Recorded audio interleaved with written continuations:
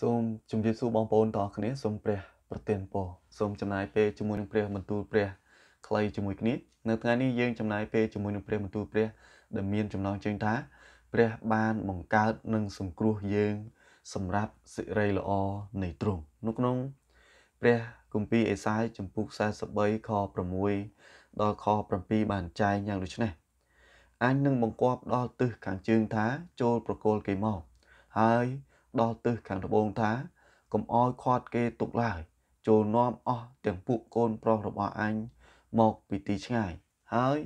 ពួកកូនស្រីអញមកពីចុងផែនដីចុះគឺគ្រប់មនុស្សដែលបានហៅតាម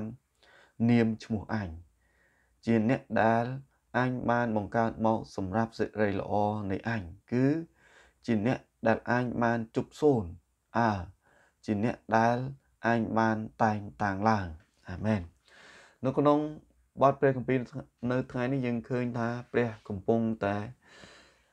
ក្រើនរំលឹកដល់ពួកកូនចៅអ៊ីស្រាអែលថាទ្រង់បានបង្កើតពួកគេមកសម្រាប់ជាសេរីល្អ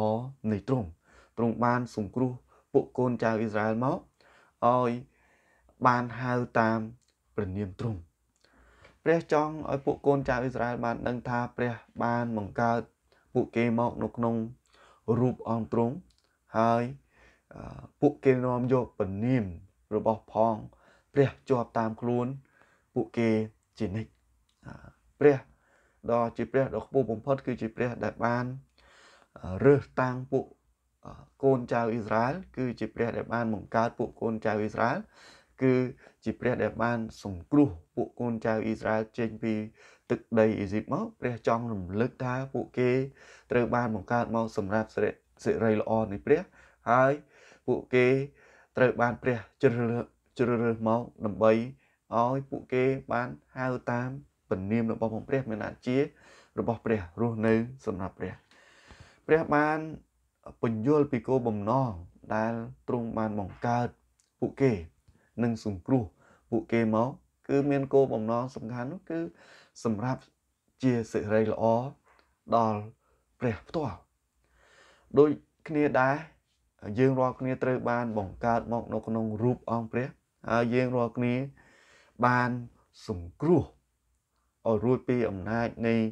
អំពើបាបនិងសេចក្តីស្លាប់អំណាចនៃវិញ្ញាណអាក្រក់នៃសេចក្តីងងឹតតាមរយៈព្រះអម្ចាស់ព្រះយេស៊ូវគ្រីស្ទ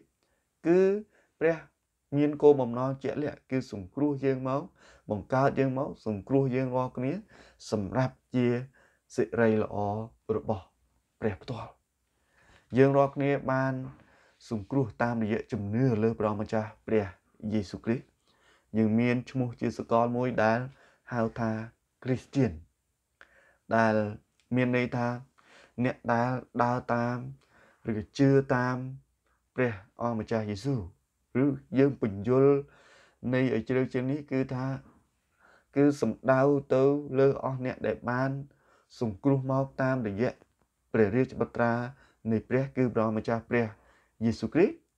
ឲ្យបានរស់នៅសម្រាប់ជាសិរីល្អដល់ព្រះដែលជាព្រះដ៏ខ្ពស់បំផុតគឺជាព្រះវរបិតានៃយើងរាល់គ្នាដូចជា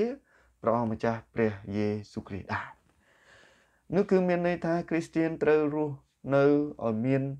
ភាពដូចព្រះគ្រីស្ទឲ្យមានលក្ខណៈដូចជាព្រះគ្រីស្ទដើម្បីឲ្យយើងអាច រស់នៅសម្រាប់ជាសិរីល្អដល់ព្រះតាមព្រះបន្ទូលព្រះតាមគោលបំណងដែលព្រះចង់បានពីយើងរាល់គ្នាយើងត្រូវតែអាចបង្ហាញពីភាពដូចព្រះគ្រីស្ទតាមរយៈពាក្យសម្ដីការប្រព្រឹត្តនិងការគិតរបស់ផងយើងរាល់គ្នាជារៀងរាល់ថ្ងៃយើងនាំយកព្រះនាមព្រះគ្រីស្ទជាប់តាមខ្លួនរបស់បងយើងរាល់គ្នាជានិច្ច យើងត្រូវតែរស់នៅក្នុងជីវិតមួយដែលបង្ហាញដល់លោកីនេះថាយើងជារបស់ផងព្រះគ្រីស្ទដើម្បីឲ្យអស់អ្នកណា ដែលគេមើលមកកាន់ជីវិតរបស់ផងយើងរាល់គ្នាគេបានឃើញព្រះម្ចាស់ព្រះយេស៊ូវគ្រីស្ទនៅក្នុងយើង តាមរយៈការប្រព្រឹត្តពាក្យសម្ដី កាយវិការរបស់ផងយើងហើយគេបានឃើញសេចក្តីសង្គ្រោះបានទទួលសេចក្តីសង្គ្រោះតាមរយៈជីវិត របស់ផងយើងទាំងអស់គ្នាដែរការរស់នៅសម្រាប់ជាសេរីល្អដល់ព្រះគឺការរស់នៅ ដោយធ្វើតាមគ្រប់ទាំងព្រះបន្ទូលរបស់ព្រះដូចជាព្រះម្ចាស់ព្រះយេស៊ូវគ្រីស្ទដែរចូលចាំថា ព្រះបានសង្គ្រោះយើងរាល់គ្នា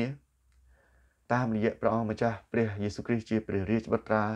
នៃទ្រង់គឺដើម្បីឲ្យយើងរាល់គ្នារស់នៅថ្វាយសេរីល្អដល់ ទ្រង់ដូចព្រះអង្គម្ចាស់ព្រះយេស៊ូវគ្រីស្ទដែរព្រះមិនបាន បង្កើតហើយសង្គ្រោះយើងមក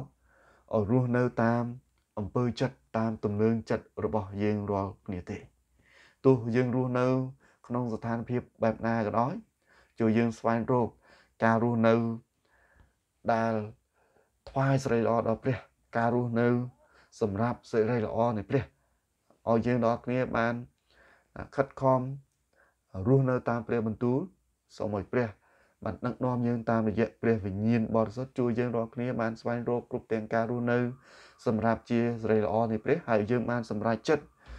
គ្រប់កលៈទេសៈគ្រប់ពេលវេលាទាំងអស់សម្រាប់ជាសេរីល្អនៃព្រះដែរនៅក្នុងព្រះគម្ពីរគ្រិនថូសជំពូក1ខខ្សែទី1បាទជំពូក10ខ31បានចែងយ៉ាងដូចនេះដូច្នេះទោះបើស៊ីឬផឹកឬធ្វើការអ្វីក៏ដោយ នោះចូលធ្វើទាំងអស់សម្រាប់ចម្រើនសិរីល្អដល់ព្រះចុះនេះគឺជា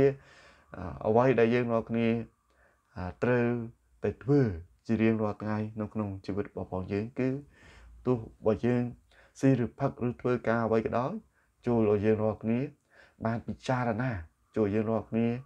បានធ្វើគ្រប់ទាំងអស់ស្របទៅតាមអំណងផាតីរបស់ផង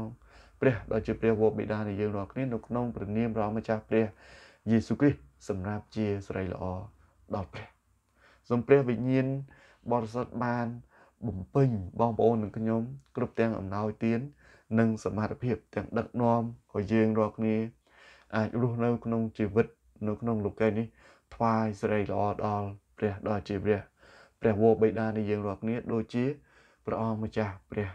យេស៊ូវគ្រីស្ទដែរឲ្យយើងបានបង្កើតផលដូចជាព្រះអង្គម្ចាស់ព្រះយេស៊ូវគ្រីស្ទដែរសូមអរគុណហើយសូមព្រះប្រទានពរដល់លោកអ្នកបងប្អូនទាំងអស់គ្នា